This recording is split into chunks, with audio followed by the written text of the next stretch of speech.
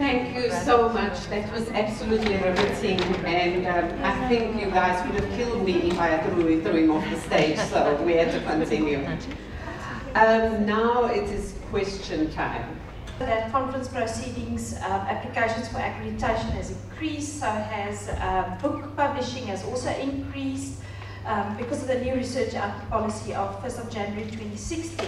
But in discovering all these amazing things, we also discovered that there are quite a lot of questionable practices within journal publishing specifically.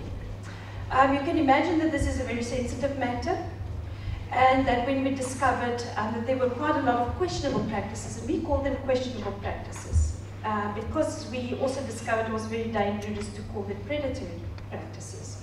Because you have to interpret and take it case by case and see what exactly is happening here. Some was just journals just blooming and getting into mega journals, so there was an increased activity in publishing. And then, of course, there were some journals and some authors which had um, questionable um, practices going on. The problem with this report is that we have people, we have institutions, we have to go very careful about with it. So we have a panel now together, and we are discussing with both the Department of Higher Education, Training and Science and Technology as to how we're going to release these results. And you can imagine that we will most probably have to engage on institution institution basis with DVCs of research to actually address these practices. So it's highly sensitive, um, and one cannot even start indulging or, or, or even uh, making available this, this uh, particular data. So, so that's the one good news, we are doing something about it, so we almost in a sense naming and shaming, um, which is um, quite scary once you start dealing with it. That's on the one hand side. We also realized that um, collaborations are actually increasing in this regard. Um, and that we have to look at um, what's happening. Do institutions actually acknowledge and recognize uh, collaborations? Because as you know, according to the research output policy, as soon as you have more than five um, collaborative editors, they ignore the rest. So we looked at the incidence of how many authors are actually collaborating with each other. Um, so there's a huge amount of five and more, um, up to about 50. That's uh, one of the largest collab, well not the largest, but one of the bigger ones, and then a couple of 100 and more collaborations in South Africa. So those ones on high energy physics, physics, um, chemistry, um, etc., that we have witnessed those collaborations. But now the problem is, is that um, institutions use the Department of Higher Education and Training uh, research output policy to evaluate and to um, evaluate the performance of the researchers. So those in very large collaborations do not get recognized in incentivizing for collaborations. So um, we are now busy distributing our questionnaire to the DVCs of research and after that we will publish our evidence-based consensus study on this um, as well. So we, we have been busy for quite a while. These things take time. But this particular year is going to be very interesting for us to divulge um, all the results of these reports. So thank you very much. Thank you very much, Susan. I think you've answered the elephant in the room. I'm, I'm Robert Moropa from UP. Got a question for, for you, uh, Greg. Have you? Yeah, I mean, you. Yeah, I mean, since you've been thinking, and I'm, I'm also posing this question. I think to people who've been thinking uh, and working in this area. Uh, currently, we've got rankings and you've indicated that they're really not useful for us and, and colonization and all that. Have you given a thought in terms of what, what is it that we can use in, in their place? Have you, are there any indications in terms of what, what are the possibilities? I think there are two levels on which could, we, one could take that. One is um, rankings as done by journal publishing and so on.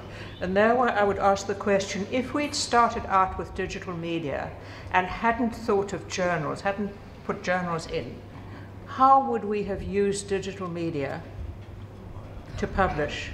I think it would be a very interesting uh, question, for example, to take up with graduate students. What would we have envisaged had we been open-minded about what digital media do?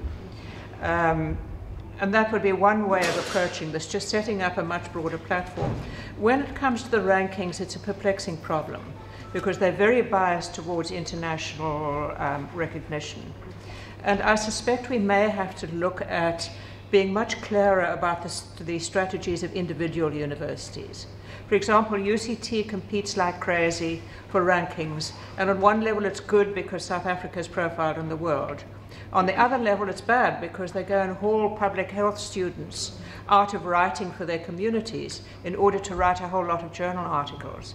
But I think it's a matter of better strategizing and having horses for courses. Don't try and push everybody to do the same thing.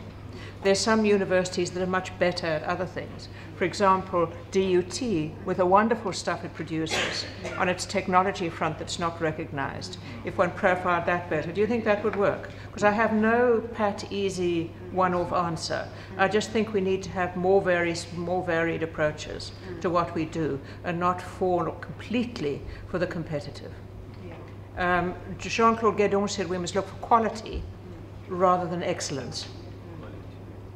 Excellence is jumping the high, you know, the pole vault. Quality is being able to run effectively. Thank you so much. No, it just occurs to me that uh, you know I didn't explain my you know the context. Mm. I, uh, a few days ago I listened to uh, you know uh, Dr. Khozo, uh, who was the president of the NRF, and he was explaining about you know the, the, the importance of rankings, rating uh, of researchers, and basically what he said was that it is a system whereby you identify good quality researchers to train future researchers. So it, it, it, it, it occurs to me you do need to have a system whereby you can identify quality researchers. So how do we, what, how do we deal with that? that? That was really the context of my question. Do you want to respond? I, th- I think just in one sentence, my answer would be the same. Yeah. Mm-hmm. It is that you need to evaluate them according to the right, prac- you know, the right thing that suits your strategy.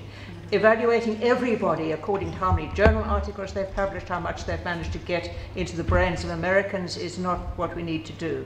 We need to think perhaps of that question, how have we contributed to our society, how have we contributed to the arts, uh, as well as all the scientific issues. So literally having a variety of measures rather than this one that we're forcing all the time. Yeah. Uh, thank you very much. My name is April Mahlangu from Tshwane University of Technology Library. Um, just to challenge a little bit uh, the speaker on the transform the decolonization of uh, uh, education.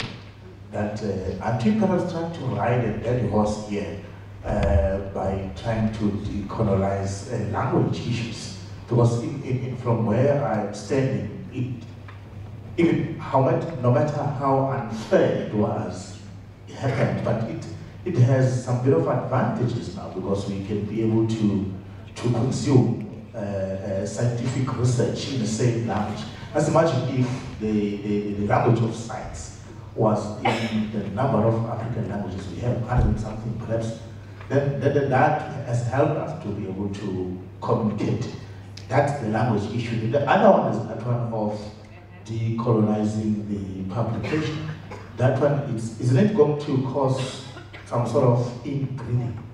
Uh, if we say, for example, we only publish in the local journals, we, we try to use the local journals, and, uh, and we closing ourselves into the opportunities of interacting with the other countries.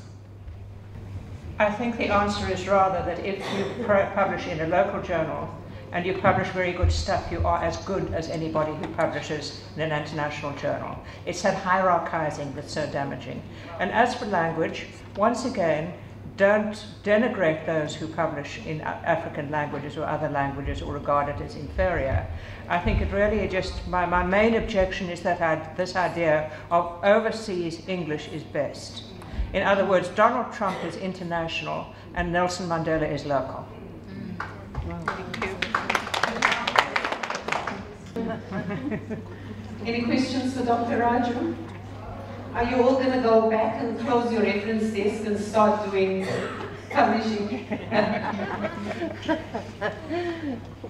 If no further questions, then I will close the session and thank the presenters. This was a very interesting session. Thank you so much.